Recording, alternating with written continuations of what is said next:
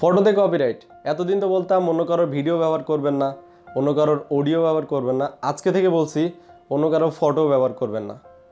আপনার একটা ফটো দরকার, একটা আইকন দরকার গুগলে সার্চ দিলেন, চলে আসলো ডাউনলোড করে আপনার ভিডিওতে মেরে দিলেন। হুম, চলবে না। এইটা করা যাবে না।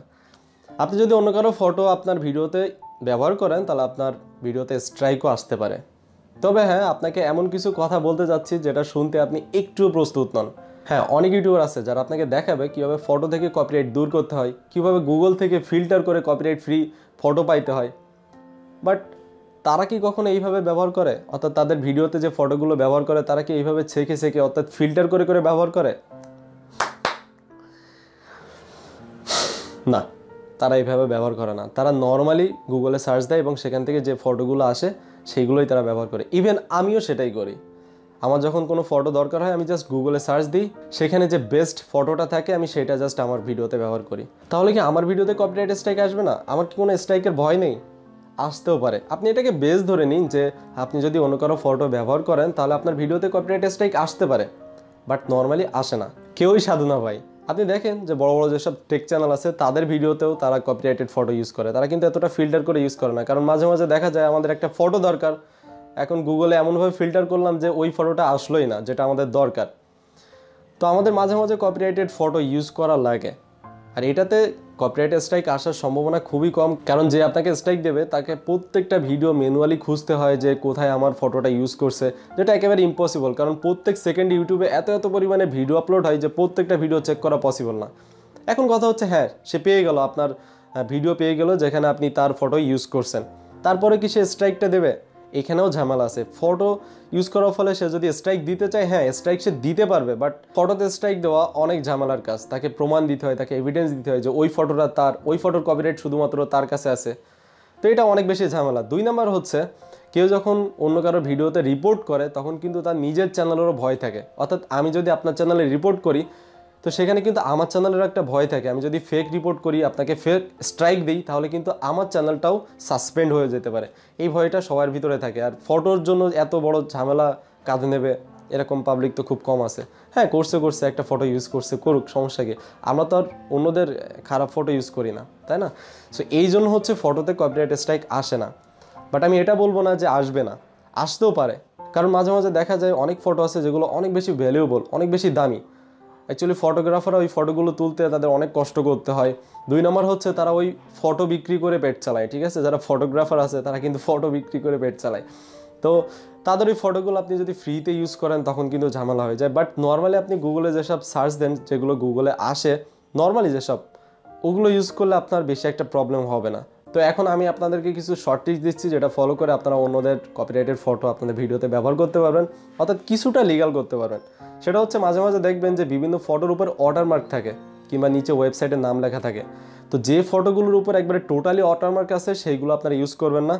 এবং যদি নিচে শুধুমাত্র ওয়েবসাইটের নাম লেখা থাকে, আপনারা জাস্ট সেটাকে কেটে বাদ দিয়ে দেবেন ক্রপ করে দেবেন, বাকি অংশটুকু আপনারা ইউজ করবেন।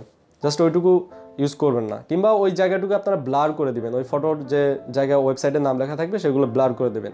দুই নাম্বার হচ্ছে, মাঝে মাঝে আমরা বিভিন্ন সেলিব্রিটিদের ফটো আমাদের ভিডিওতে ব্যবহার করি, যেমন সালমান খান, শাহরুখ খান, আমির খান, ক্যাটরিনা কাইফ। তো এই ফটোগুলো ইউজ করলে আপনার ভিডিওতে কপিরাইট স্ট্রাইক আসবে না, কারণ তাদের এত সময় নেই, তাদের ওই ফটো খুঁজে খুঁজে বের করে সেইগুলোতে স্ট্রাইক মারা।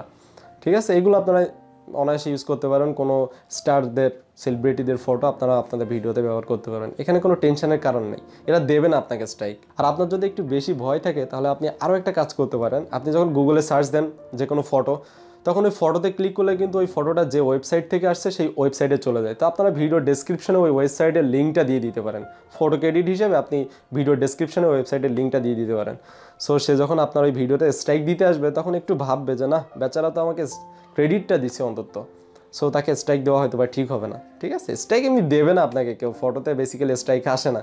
তবুও যদি সে চলে আসে আপনার ভিডিওতে তো এসে তো অন্তত ডেসক্রিপশনটা চেক করবে, তাই না? ওকে চলুন, এবার যারা অতিরিক্ত ভীতু আছেন, যারা তাদের চ্যানেলগুলোকে একেবারে ফ্রেশ রাখতে চান, যারা নাম্বার ওয়ান ইউটিউবার হতে চান, তাদের জন্য যে কমন ট্রিক্সটা আছে, যেটা সব ইউটিউবাররা দেখায়, আমি সেটাই দেখাচ্ছি। চলুন কম্পিউটার স্ক্রিনে চলে যাই যে দেখি কীভাবে আপনারা কপিরাইটেড ফ্রি ফটো ইউজ করতে পারবেন আপনাদের ভিডিওতে চলুন।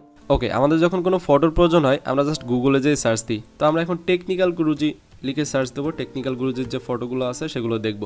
টেকনিক্যাল গুরুজি দেন এখান থেকে ইমেজ ইনি হলেন Technical Guruji Indian number one tech YouTuber তো এখন এইখানে যে ফটোগুলো আছে, সেগুলো কিছু কিছু ফটো আছে কপিরাইটেড কিছু কিছু ফটো আছে কপিরাইট ফ্রি তো এইগুলো আমরা কীভাবে বুঝব? অর্থাৎ আপনারা যখন সার্চ দেবেন, তখন এরকম সব কিছু একসাথে চলে আসবে। তো সেটা করার জন্য এখান থেকে সেটিংসে ক্লিক করবেন অ্যাডভান্স সার্চ দেন একটু নিচে আসার পরে একটা ইউজেস রাইট দেখুন। মানে অর্থাৎ ইউজাররা কী কী রাইট পাবে এই ফটোগুলোর জন্য। তো এখানে প্রথম যে অপশনটা আছে নট ফিল্টার্ড বাই লাইসেন্স এটা ডিফল্টভাবে থাকে। অর্থাৎ আপনি নর্মালি যে সার্চে যে ফটোগুলো আসছে সেইগুলোই। এরপরে যেটা আছে free to use or share অর্থাৎ এখানে সিলেক্ট করে যদি আপনি অ্যাডভান্স সার্চ দেন এবং সেখানে যে ফটোগুলো আসবে, সেগুলো আপনারা ফ্রিতে ইউজ করতে পারবেন অথবা শেয়ার করতে পারবেন। এরপরে আছে free to use or share even commercially অর্থাৎ এটাতে সিলেক্ট করে দিলে আপনার ফটোগুলো আপনি ফ্রিতে ইউজ করতে পারবেন শেয়ার করতে পারবেন এবং ব্যবসায়িক কাজেও ব্যবহার করতে পারবেন। যেমন আপনার ইউটিউব চ্যানেলে ব্যবহার করতে পারেন ওয়েবসাইটে ব্যবহার করতে পারেন, ঠিক আছে? এটা হচ্ছে কমার্শিয়ালি আপনি ইউজ করতে পারবেন। এরপরে যেটা আছে free to use share or modify অর্থাৎ আপনি ফ্রিতে ইউজ করতে পারবেন শেয়ারও করতে পারবেন, আবার ওই ফটোগুলো মডিফাই করতে পারবেন। অর্থাৎ এডিট এডিট করে আপনারা ইউজ করতে পারবেন। দেন লাস্টে যেটা আছে, মোটামুটি সব কাজে আপনি ইউজ করতে পারবেন, সেটা হচ্ছে free to use share or modify even commercially মানে শেয়ার করতে পারবেন ইউজ করতে পারবেন মডিফাই করতে পারবেন কমার্শিয়ালিও ইউজ করতে পারবেন। ওকে তো আমরা এখান থেকে একটা অপশন সিলেক্ট করব দেন সার্চ করে দেখি কি আসে। এখানে free to use or share even commercially এটা দিয়ে অ্যাডভান্স সার্চ দিলাম। দেওয়ার ফলে দেখুন, এখানে টেকনিক্যাল গুরুজির কোনো নামই নাই। অর্থাৎ টেকনিক্যাল গুরুজি দিয়ে সার্চ দিলাম বাট আসলো কী সব ছবি? তো আমি ফার্স্টেই বলছিলাম, আপনি এভাবে ফিল্টার করলে দেখা যাচ্ছে আপনি যে ফটোটা চান, সেটা হয়তো বা এখানে নাও পেতে পারেন। আর এই ফটোগুলো কিন্তু এক একটা ওয়েবসাইট থেকে আসছে। দেখুন এই ফ্লিকার কিংবা কমন্স ডট উইকিমিডিয়া এইগুলো কিন্তু গুগলের ফটো না। আমার মনে হয় ভিডিওটি আপনার বেশি একটা ভালো লাগেনি, কারণ আমি এখানে সত্য তুলে ধরছি। আর সত্য কথা একটু তেতো হয়। তবে এটাই সত্য, কোনো ইউটিউবার এরকম ফটো ফিল্টার করে করে ব্যবহার করে না। তারা জাস্ট গুগলে সার্চ দেয়, সেখানে যে ফটোগুলো চলে আসে, সেখান থেকে বেস্ট একটা ফটো নিয়ে তাদের ভিডিওতে ব্যবহার করে। আর ফটোতে কপিরাইট স্ট্রাইক কেন আসে না, সেটারও লজিক আপনাদেরকে বুঝালাম।